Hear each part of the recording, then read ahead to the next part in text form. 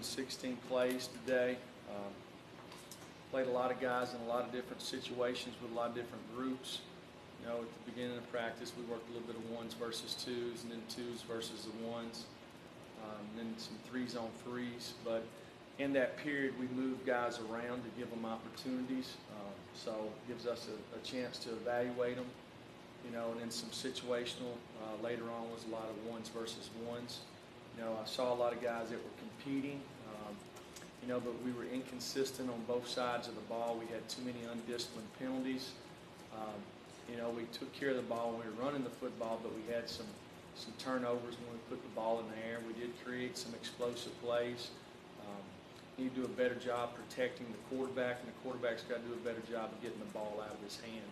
Uh, thought our running backs uh, ran pretty well today. Uh, I think we got improved blocking on the perimeter with the wide receivers. We got to do a better job of converting third downs uh, on the offensive side.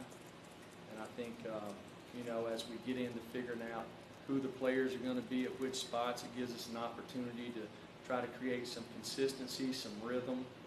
Um, you know, and we're not there yet. You know, there's still lots of competition. Uh, we got to figure it out, and this will probably be ongoing for a lot of positions throughout uh, fall camp and probably, you know, throughout the year. Uh, so we got a lot of, a lot of young guys uh, that really don't know how to do it. They're plenty capable. You know, we're giving them opportunities, and this was their first chance out there. Um, you know, just like most of them do. Uh, as the scrimmage went, the better they got. Um, so that's a good thing. That's positive. Uh, means we didn't make a mistake when we recruited them. Uh, so it's there. We got to get them to be consistent, learn what's going on. Um, so with that, I'll take some questions.